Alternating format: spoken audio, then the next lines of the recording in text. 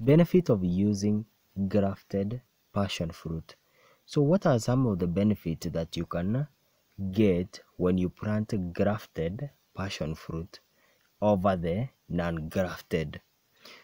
So this is uh, profit passion fruit farming and uh, we always bring you the our videos on how to farm passion fruit correctly.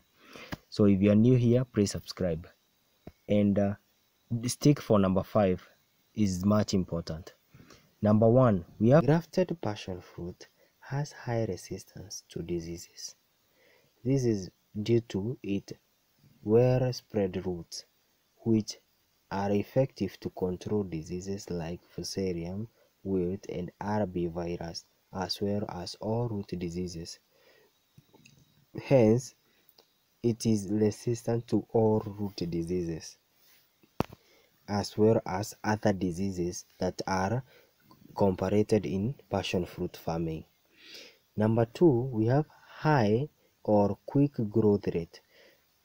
Grafted passion fruit tend to grow faster than non-grafted due to well-established rootstock and well network of root which help to provide the plant with sufficient nutrient for growth hence this leading to a quick growth. We have number three high resistance to pest.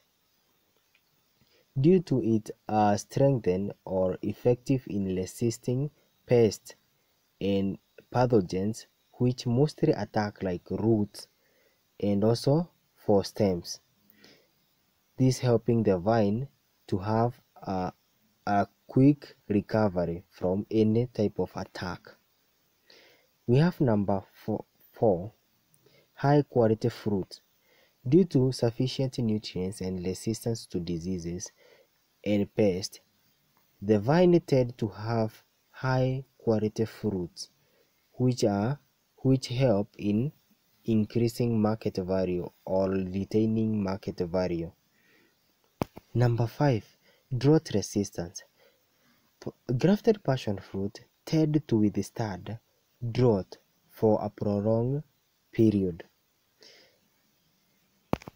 Although for a prolonged period of drought, it reduces the production of the passion fruit, unlike ungrafted which dries up if there is a or if it faces with a prolonged drought. So for a grafted passion fruit, withstand a prolonged drought. Grafted Number 6. Grafted passion fruit have a wide range uh, tolerance of soil difference and change in the soil type or soil pH. Hence, good for areas with different soil than lead soil or volcano soil. So you can plant passion fruit in different location or with different soil type and soil pH. Also note that it has a very wide range of uh, growth.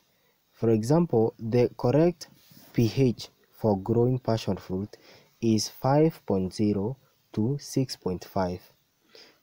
But if for a grafted passion fruit, it can also perform in 4.0 to 8.5.